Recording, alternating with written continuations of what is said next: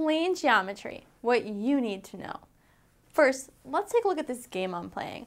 I'm playing darts right now, and I'm actually really close to winning. But to win, I need to get six points or more in my next throw.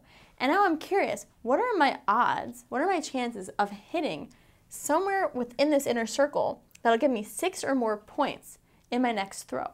And actually, you can solve this using geometry. So in this episode, we're going to first talk about plane geometry, things like circles, you know, triangles, squares, and then we'll move on to coordinate geometry and talk about things like slopes and lines. Let's get started.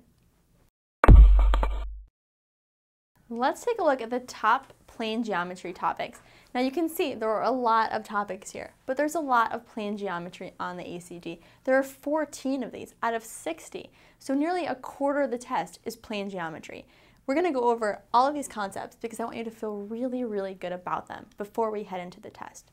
We're going to talk about lines and angles, triangles, circle, squares and rectangles, and we're going to do a multiple figure problem, a problem that combines two or more shapes. On to lines and angles. These are just a couple things that I want you to remember, and I'll just, I'll just draw this out really quickly.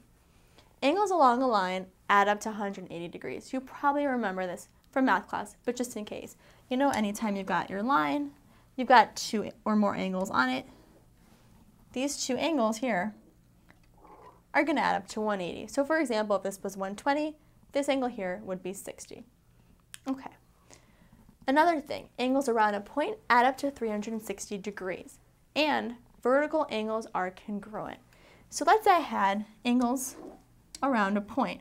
Here's my point right here. So here we go, I've got angles all around a point, four angles. All the angle measurements added together would equal 360 degrees. And by the way, vertical angles are congruent. Vertical angles are these angles on the opposite sides. For example, this is a vertical angle to this. So these angles would be equivalent to each other. Also, this angle is equivalent to this angle because it's also a vertical angle. On to one of my favorite topics with lines and angles. When two parallel lines are cut by a transversal, some really neat things happen. And you're probably thinking, transversal, oh my god, what is she talking about? All transversal is, is just a line cutting through two parallel lines. Let me draw a picture.